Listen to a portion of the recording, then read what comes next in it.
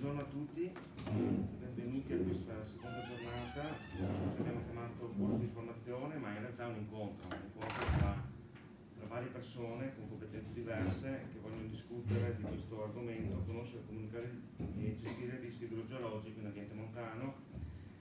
E siamo all'interno di un progetto europeo, il LIFE Franca, di cui abbiamo già parlato e di cui Rocco ha presentato le linee essenziali e quello che stiamo facendo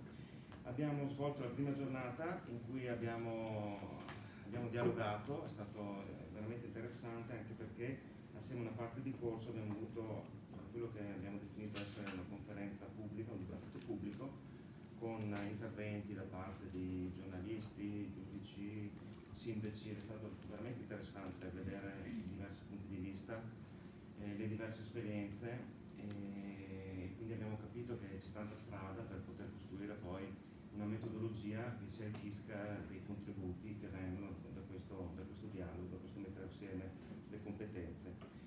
La giornata odierna è costituita da una mattinata in cui abbiamo il piacere di ospitare il professore collega Eugenio Caliceti eh, dell'Università di Trento, Facoltà di Giurisprudenza,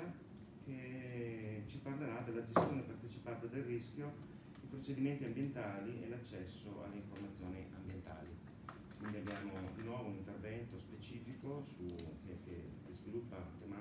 5 della competenza amministrativa giuridica e poi abbiamo uno degli elementi fondamentali del nostro procedere, della nostra metodologia che è costituito appunto da una fase di sperimentazione,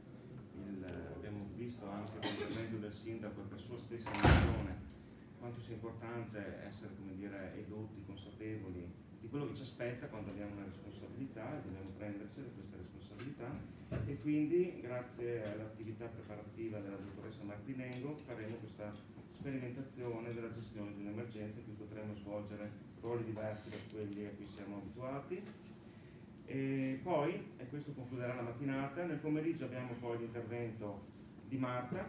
l'intervento che parlerà di, di come si pianifica l'emergenza e in conclusione poi avremo l'intervento di Rocco, che quindi come dire, ha aperto e chiuso questa, questa, duplice, questa doppia giornata di lavori e nel mezzo, però adesso mi devo rivolgere al professor Riccardo Rigon, eh, anziché avere come ospite Antonio, il dottor Antonio Ziantoni, purtroppo dobbiamo eh, rendervi sì. conto che... Oggi pomeriggio eh, abbiamo invece il il servizio geologico della provincia di Trento che presenta la carta del pericolo della provincia di Trento. Purtroppo il dottor Ziantoni si scusa ma è stato trattenuto a Roma da un impegno che, che, non, che non, ha potuto cancellare, insomma, nonostante le mie insistenze. Sì. E, quindi eh,